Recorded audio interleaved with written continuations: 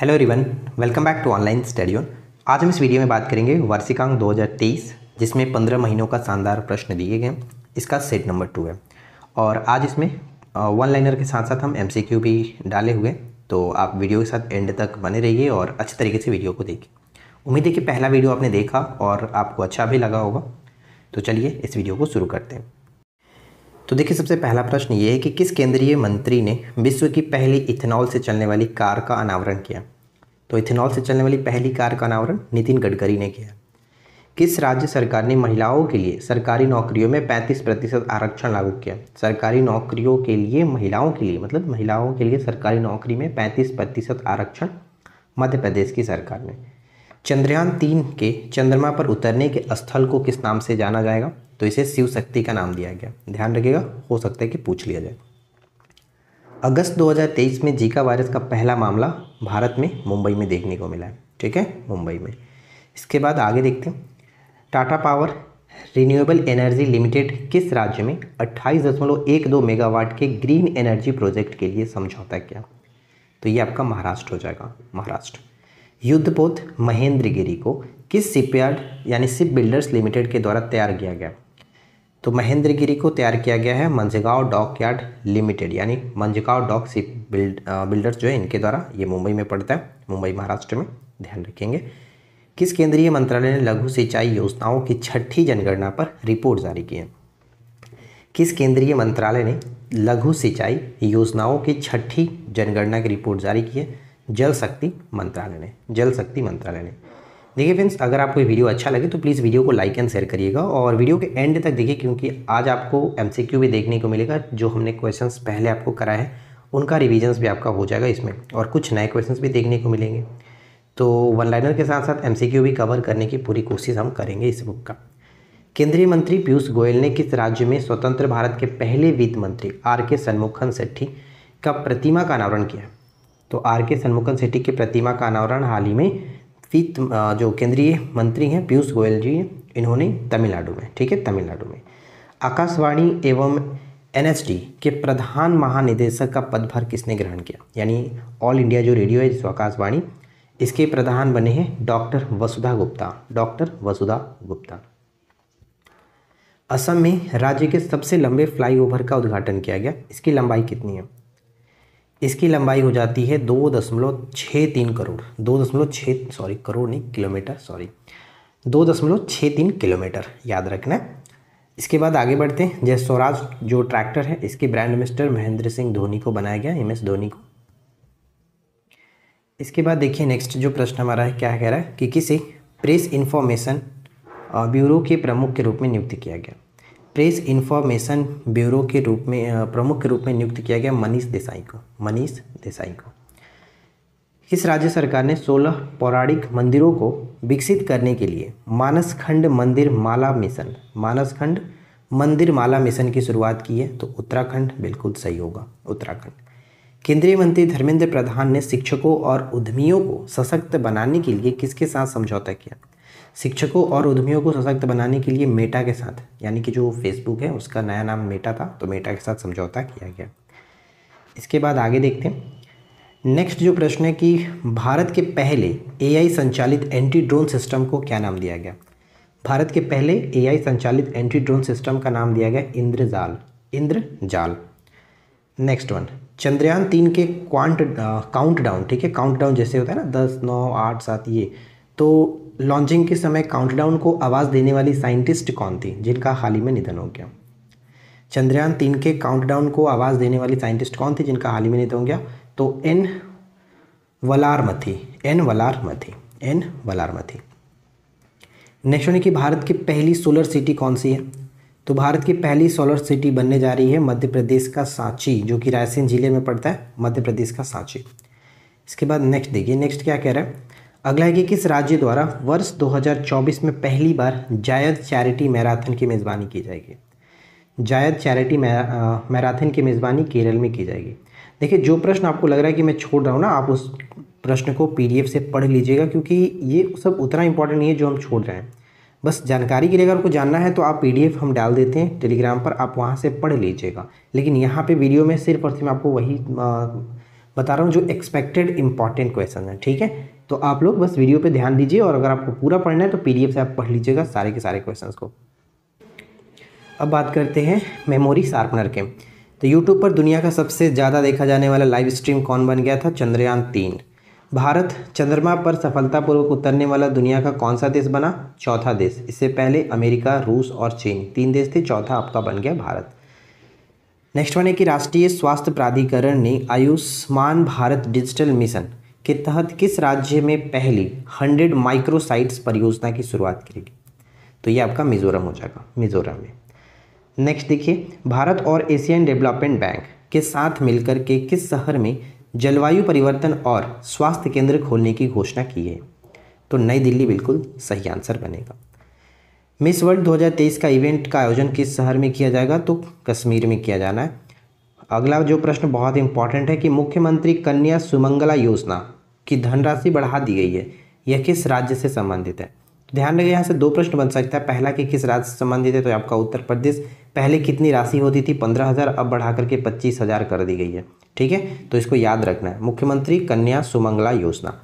अध्यक्ष और सीईओ के रूप में भारतीय रेलवे का नेतृत्व करने वाली पहली महिला कौन बनी है? तो जया वर्मा सिन्हा। जया वर्मा सिन्हा।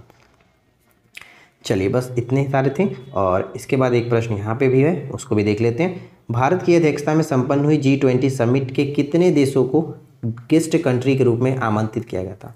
गेस्ट कंट्री के रूप में नौ देशों को आमंत्रित किया गया था। इसके बाद आगे बढ़ते हैं। नेक्स्ट सवाल बनता है कि भारत के आ, किस एयरपोर्ट पर देश की पहली एलिवेटेड क्रॉस टैक्सीवे सर्विस की शुरुआत की जाएगी? एलिवेटेड क्रॉस टैक्सीवे सर्विस की शुरुआत इंदिरा गांधी इंटरनेशनल एयरपोर्ट, जो न्यू दिल्ली में, उस पर। किस राज्य में अंत्योदय श्रमिक सुरक्षा योजना? किस राज्य में अंत्योदय श्रमिक सुरक्षा योजना का पायलट प्रोजेक्ट लॉन्च किया गया? Gujarat is the correct answer Gujarat. Next देखिए, क्या है? कि किस राज्य में राष्ट्रीय सिकल सेल एनीमिया उन्मूलन मिशन का उद्घाटन किया गया? दो का उद्घाटन किया गया तो मध्य प्रदेश में। मध्य प्रदेश में। किस राज्य या फिर यूटी ने मोबाइल दोस्त ऐप, मोबाइल दोस्त ऐप को लॉन्च किया? जम्मू कश्मीर। मोबाइल दोस्त ऐप जम्मू कश्मीर ने लॉन्च किया। नेक्स्ट प्रश्न है कि कोई भाषा को आठवीं अनुसूची में शामिल करने के लिए किस राज्य सरकार की मंजूरी मिली है? कोई भाषा, बहुत इंपॉर्टेंट रहेगा, एकदम वीवीआई प्रश्न है। कोई भाषा को आठवीं अनुसूची में, अभी जैसे कि आठवीं अनुसूची में बाईस भाषा शामिल है तो इसमें आपका ये नया भाषा बढ़ने की बात की जा रही है, जो कि उड़ीसा, उड़िया उड़ी सॉरी, उड़ीसा है।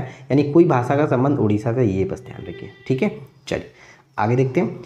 नेक्स्ट यहाँ पे कि यूपी सरकार ने सोनभद्र के ओबरा में कितने थर्मल पावर परियोजना को मंजूरी दी है? यूपी सरकार ने सोनभद्र के ओबरा में कितने थर्मल पावर की मंजूरी दी है? तो दो। नेक्स्ट प्रश्न बनता है कि सेसेल्स में आयोजित तथा संयुक्त समुद्री बल द्वारा संचालित ऑपरेशन सर्दन रेडीनेस 2023 में किस आईएनएस ने भाग लिया है? तो इसमें भाग लिया आईएनएस सुनैना आईएनएस सुनैना। हाल ही में एक नई जीवाश्म प्रजाति, मेगासिफोन, और मेगासिफोन थाइलाकोस मेगासिफोन थाइलाकोस की खोज की गई है। वह लगभग कितना मिलियन वर्ष पुराना है? तो ये 500 मिलियन वर्ष पुराना है, लगभग 500 मिलियन वर्ष पुराना है। इसके बाद देखिए आगे क्या है। नेक्स्ट है कि किस राज्य के आथूर पान के पत्ते को? आथूर पान के पत्ते को भौगोलिक संकेत यानी जीआई टैग दिया गया तो तमिलनाडु, ये भी इंपॉर्टेंट रहने वाला, याद रखना है ठीक है? नेक्स्ट होने की किस राज्य सरकार ने विश्वकर्मा श्रमिक कल्याण योजना, विश्वकर्मा श्रमिक कल्याण योजना की शुरुआत की है? तो राजस्थान, बिल्कुल सही होगा। हाल ही में national multi dimension poverty index, national multi dimension poverty index जारी किया नीति आयोग ने नीति आयोग ने जारी किया। नेक्स्ट क्या है? इसके बाद अगला है कि स्किल इंडिया परियोजना की परियोजना ने किस राज्य केंद्र शासित प्रदेश की लुप्त हो रही नमदा कला को सफलतापूर्वक पुनर्जीवित किया। नमदा कला का संबंध किस राज्य या फिर किस यूटी से ऐसे पूछा भी जा सकता है? तो नमदा कला, जम्मू कश्मीर, बिल्कुल सही आंसर होगा, इसको याद रखना है, ठीक है? नमदा कला। देखिए नेक्स्ट प्रश्न है कि नीति आयोग के एक्सपोर्ट प्री पेयर्डनेस प्री पेयर्डनेस इंडेक्स 2022 में किस राज्य ने प्रथम स्थान हासिल किया? तो यहाँ पे सही होगा तमिलनाडु। तमिलनाडु बिल्कुल सही आंसर होगा। देखिए, ये था आपका वन लाइनर अब हम बात करते हैं एमसीक्यू तो चलिए शुरू करते हैं। सबसे पहला प्रश्न है कि प्रति व्यक्ति ग्रीन हाउस गैस उत्सर्जन में सर्वाधिक योगदान देने वाला देश कौन सा है? यानी प्रति व्यक्ति ग्रीन हाउस गैस जो उत्सर्जन होता है, सबसे ज़्यादा किस कंट्री में होता है, उसका सबसे ज़्यादा योगदान है? तो अमेरिका बिल्कुल सही आंसर होगा ऑप्शन ए को टिक करेंगे।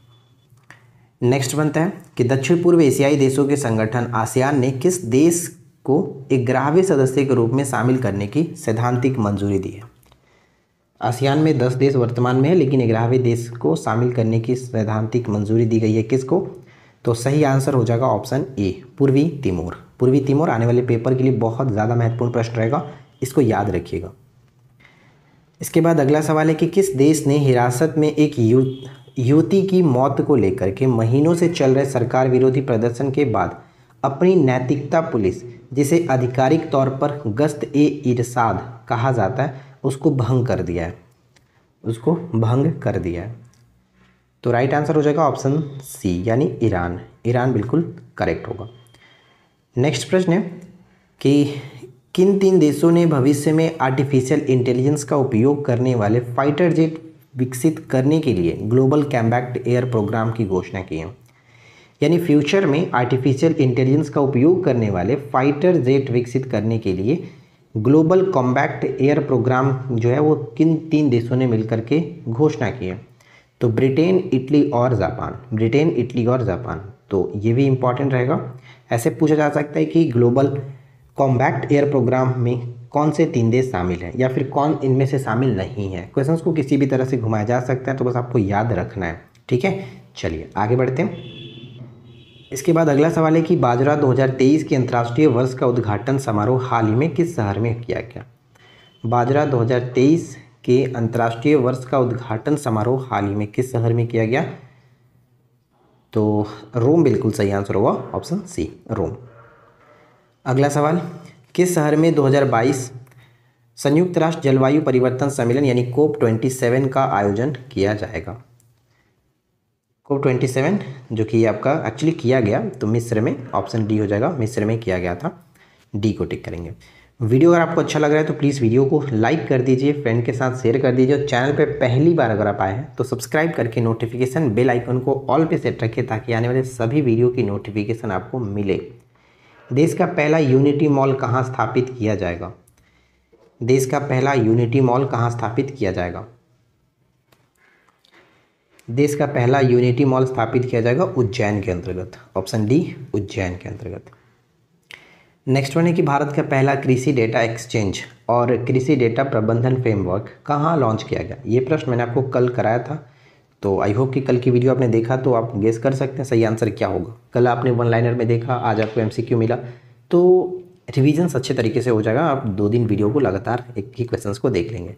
तो Hyderabad is the right answer option C Hyderabad. Next कह रहा है कि प्रधानमंत्री ने पारंपरिक शिल्प कौशल को बढ़ावा देने के लिए कौन सी योजना प्रारंभ करने की घोषणा की है? घोषणा की है क्या? घोषणा हो गई, यानी मतलब कि शुरुआत भी हो गई प्रारंभ हो गई।